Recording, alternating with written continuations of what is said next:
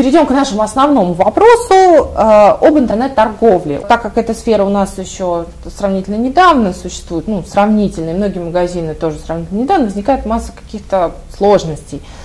Давайте вот начнем с того, что если вот товар задержали по срокам, то есть обещали, допустим, доставить в течение месяца, доставили через 2-3 месяца, иногда это бывает критично, действительно, если это к празднику какому-то подарок или что-то еще. А, как вот в этом случае поступать? При нарушении сроков передачи товара потребитель имеет право на неустойку. Эта неустойка составляет полпроцента от стоимости товара за каждый день просрочки.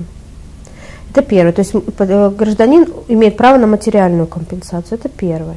Второе. Если товар не пришел в срок, возникает право на его на отказ от этого товара. Ну и тоже компенсация неустоек, морального вреда и так далее. То есть здесь гражданин имеет арсенал прав, которыми он может, в принципе, воспользоваться. Вот. Если мы получаем товар с просрочкой, в акте приема передачи мы пишем дату фактического получения – направляем претензию с требованием о возмещении неустойки. Если неустойка в суд, э, добровольно не возмещена, идем в суд и получаем неустойку в судебном порядке. Вот и все. Единственное, нам нужно обратить внимание на то, как определена э, дата доставки товара, то есть срок доставки. Потому что зачастую товар оплатили, ждем, ждем. Мы отправили, ждем, нету. Если в письменном договоре нет сроков передачи, то по общему правилу это 7 дней с момента обращения с требованием о передаче товара. То есть заявляем требования в письменном виде в организацию, что просим в 7-дневный срок предоставить товар. И если через 7 дней ничего нет, то, о чем я говорила выше, неустойка и право на отказ от товара вообще. Вторая проблема – товар с каким-то браком. Вот как доказать, что товар был доставлен уже изначально с каким-то браком, там, вот в, в интернете рекомендуют снимать на видео процесс распаковки. Ну, можно, конечно, снимать на видео, это не возбраняется как дополнительный способ доказывания.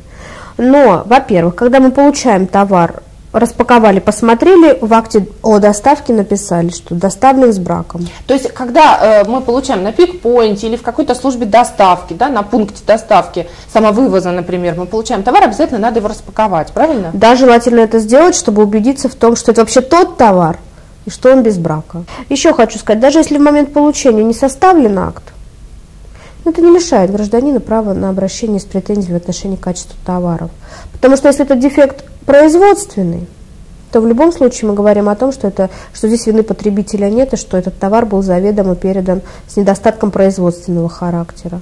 Если это мех повреждения, да, здесь будет сложнее. Надо будет доказывать, поэтому все-таки принцип того, чтобы распаковать коробку в момент получения, желательно это делать. Видео, пожалуйста. Квитанцию электронную об оплате, я всегда говорю, что нужно ее сохранять, то есть чтобы на почту, на e-mail пришло подтверждение оплаты.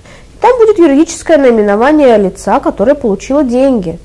А уже через сайт налог.ру проверь себя и контрагента мы можем узнать юридический адрес этого лица, и туда направить заявление, и товар в частности. Женщина купила в интернет-магазине телефон, потом решила отказаться от покупки, но за это время аппарат поступил в почтовое отделение. Покупательнице пришло смс, она, видимо, обратилась в магазин, пытаясь отказаться от покупки, ей пришло смс, что для того, чтобы отказаться от заказа, нужно оплатить продавцу транспортные расходы, так как он его уже доставил.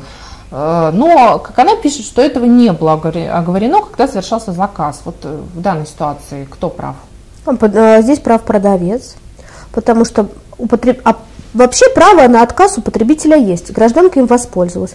Но расходы на доставку товара до места потребителя и обратно будет нести потребитель, потому что потребитель по своей воле отказывается от товара до момента получения. Здесь все законно, придется оплатить расходы, да.